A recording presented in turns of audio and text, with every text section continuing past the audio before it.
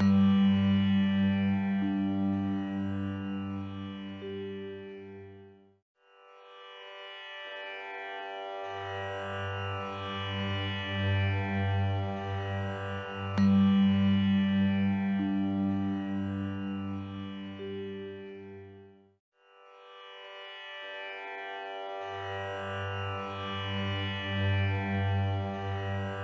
-hmm. you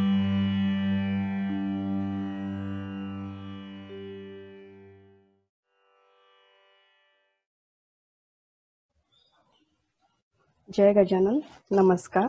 मी रोहिणी बारापात्रे मुंबईहून तुमच्याशी बोलत आहे. संत हे ईश्वर स्वरूप असतात.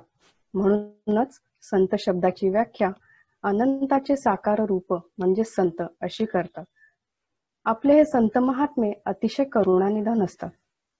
ते सतैव आपल्या भक्ताचे हितच चिंतितात व आपल्या शिष्याला कधीच भवसागरात एकटे सोडत नाहीत. गजानन विजय ग्रंथात म्हटल्याप्रमाणे आम्ही ही भावंडे सारी येतो झालो भूमीवरी कैवल्याच्या मार्गावरी भाविक काढून सोडावया. असाच एक अनुभव आज आपण बघणार आहोत. गजानन विजय ग्रंथात सोळाव्या अध्यायात भक्त पुंडलिकाच्या बाबतीत म्हटल्याप्रमाणे पहा श्रोते खरे संत सांभाळती आपुले भक्त आडमार्गाने किंचित जाऊन देती तयाला आपल्या गजानन महाराजांनी एकदा का आपल्या भक्ताचा हात धरला की त्या भक्ताने सोडू म्हटले तरी त्याचा हात ते सोडत नाहीत. असाच काहीसा अनुभव मुंबई येथे राहणाऱ्या सौ मंदाकिनी सुरेश पाटील यांना आला. चला तर मग हा अनुभव आपण त्यांच्या शब्दात बघूया आणि ऐकूया. जय गजानन. जय गजानन. गजानन महाराजांचे अनुभव म्हणाल तर तसं महाराजांचं महाराजांचे जेही भक्त असतात त्यांना महाराज अनुभव हे देतच असतात. आणि मला म्हणाल तर माझी आणि गजानन महाराजांची जेव्हा अगदी नव्यानेच ओळख झाली तेव्हाचे जे अनुभव आहेत ते मला अतिशय प्रिय आहेत. तर त्यावेळेचा एक अनुभव मी आता तुमच्याशी शेअर करणार आहे.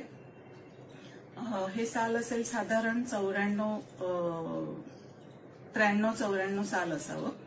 त्यावेळी मी जॉईंट फॅमिलीमध्ये राहायचे. आणि माझ्या माझी एक मैत्रीण होती दीपा जोशी म्हणून. तर मी अशीच प्रॉब्लेममध्ये असताना ती मला म्हणाली की तू काही पोथी वगैरे वाचशील का? तर मी म्हटलं आम्ही हो म्हणाले. ती म्हणाली की गजानन महाराजांची पोथी आहे तू वाच वाचणार असशील तर बघ. मी म्हटलं मी अतिशय अभिमानाने तिच्याकडे बघून त्यावेळी तिला सांगितलं. की मी फक्त गणपती आणि महालक्ष्मी मातेचं सोडून दुसऱ्या कुठल्याही देवाचं करत नाही.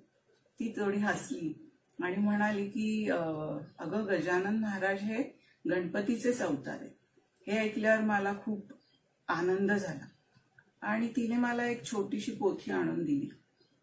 आणि ती मी वाचायला सुरुवात केली. छोटी असल्यामुळे मला साधारण त्याला नाही म्हटलं तरी अडीच तास वगैरे लागायचे पूर्ण पारायण करायला. आणि अध्याय तसे छोटेच होते. हे जॉईंट फॅमिलीमध्ये मी त्यावेळी राहत होते सांगितलंच. आम्ही एकूण बारा जण होतो. असं भरापुरा परिवार हमारा था.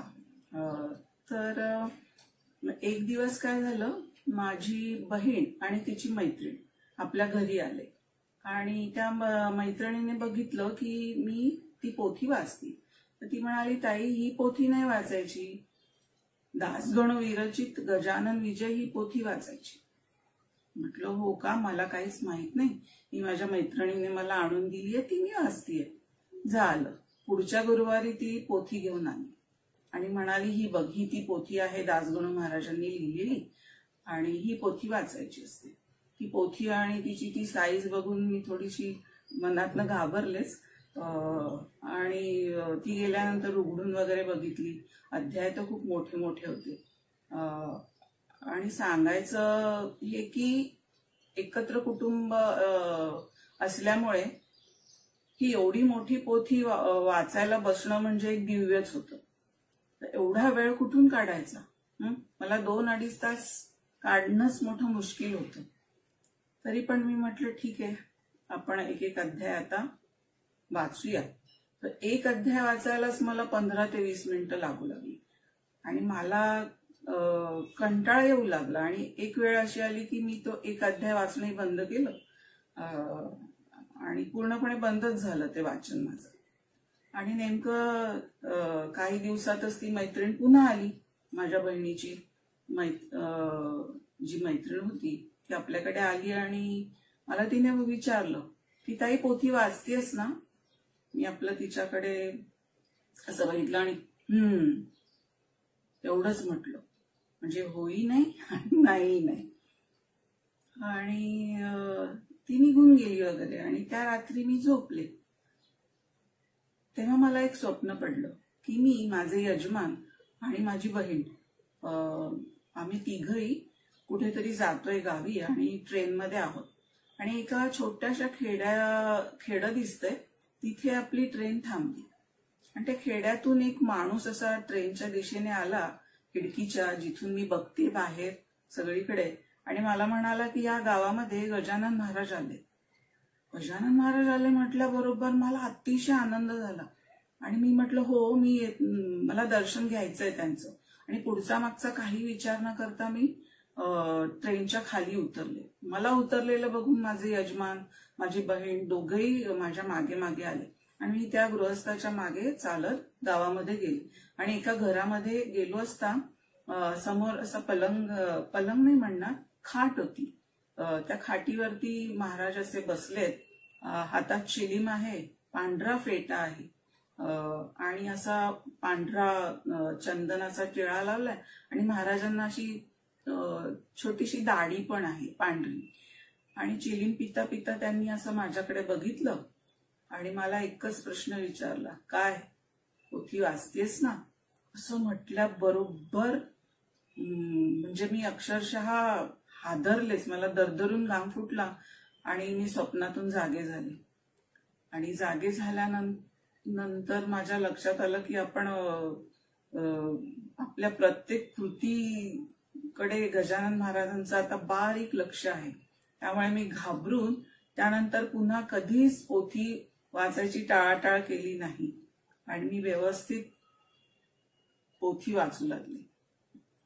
जय गजानन.